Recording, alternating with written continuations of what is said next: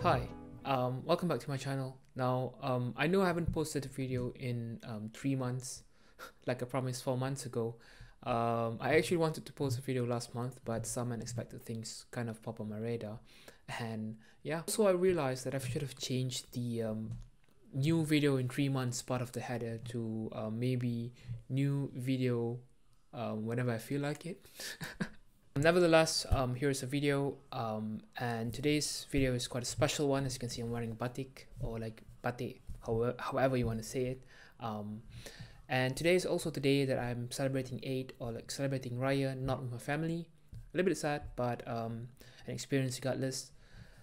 Um, yeah, and also if you're watching this video uh, a little bit later after Eid, it's probably because I'm too lazy to edit this video.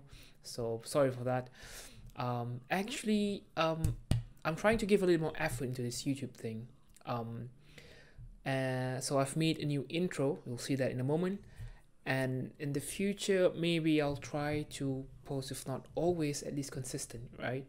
Um, let's say one video every two weeks or one video um, every month. Um, we'll see how that goes. But yeah just to create a proper presence like a proper brand for this channel. So Roll the intro.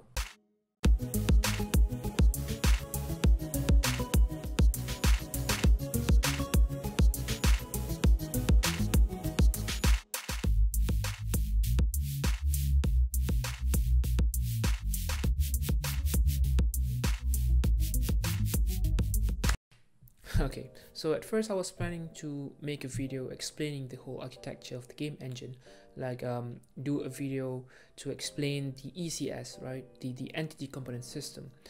Uh, but I realized halfway that um, explaining the ECS isn't easy and you can't really um, you can't really explain it in like a, a 10 minutes video for example.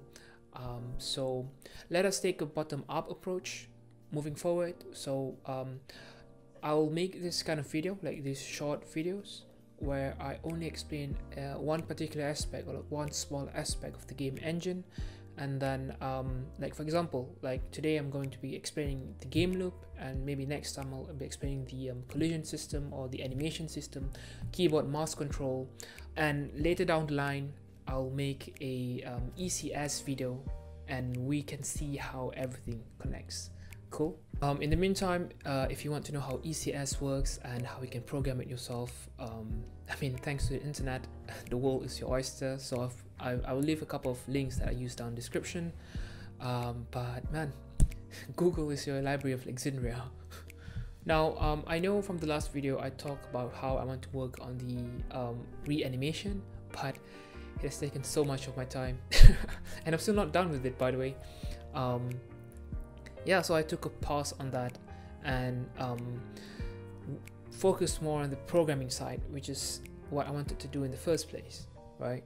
Um, rather than just doing art.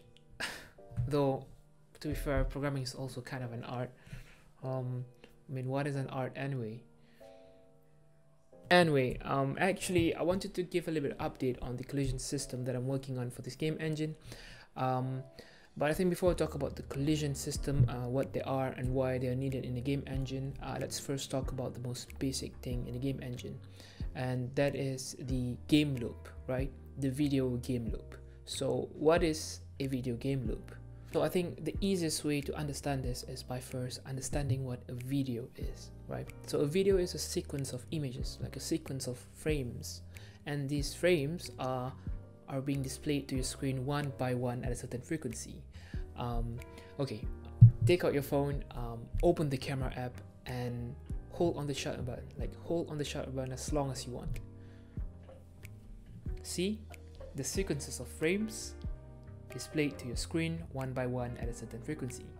Now you have a video. Now if you have less frequency, the choppier the video gets, and the reverse is true. Now this is what FPS, like frames per second, is all about. So how many frames are displayed on the screen every second? Um, now, how is the video game different, right? Um, so with a video, the next uh, frame or the next images or the next hundreds of frames uh, in the sequence is already there, right? So when when a computer is displaying a video, the computer just need to fetch the next image or the next frame in the sequence and then display it on the screen. So the process repeats. So fetch display, fetch display, fetch display until the end of the sequence, right? Which is the end of the video. Um, but with a video game, um, it's not a video. Okay, okay, it's video. Um, up. At least it's a video for you, right? Because you are looking at the screen, um, but not for the computer. So when you play a game, um, everything happens instantly. So it looks like a video, right?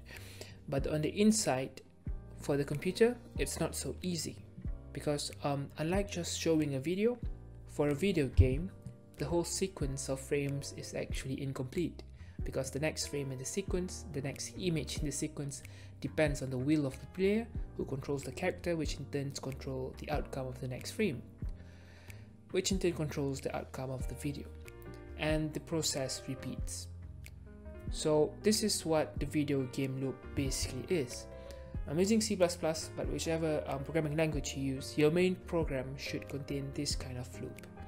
Instead of just fetching and displaying the next frame in the sequence like a video, the computer needs to do some extra steps, which is the computer needs to first get inputs or process every input from the player, either by the keyboard and the mouse or by a controller, then using these inputs to say update the character position or see whether uh, now the player is taking some damage from I don't know some enemy. Um, and from these updates then will the next frame be drawn or be rendered. So these steps happen 30 or 60 times every second depending on your FPS until you break the loop by either game over or um, by simply pressing the close button. Oh, it started to get dark outside where was I? Yeah, okay, so this is why we need um, a beefy processor or like a separate um, processing using a graphics card or a fast programming language like C and C++ um, to run and to make video games because each of the frames in the sequence need to be um, drawn or need to be rendered 30 or 60 times per second depending on if FPS um, by the computer.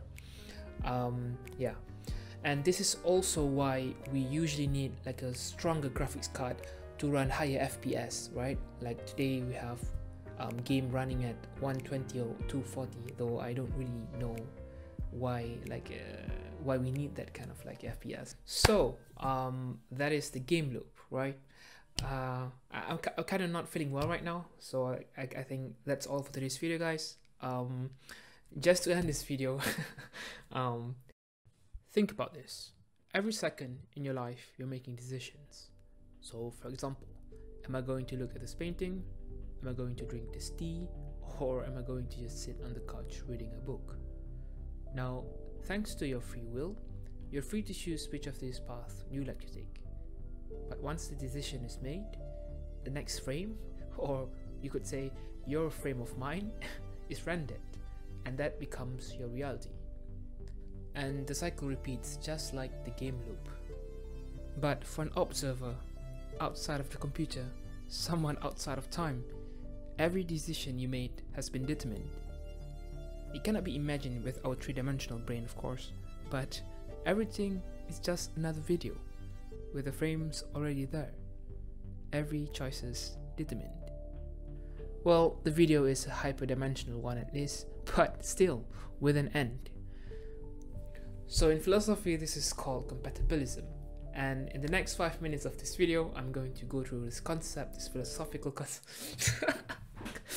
Joking. Bye.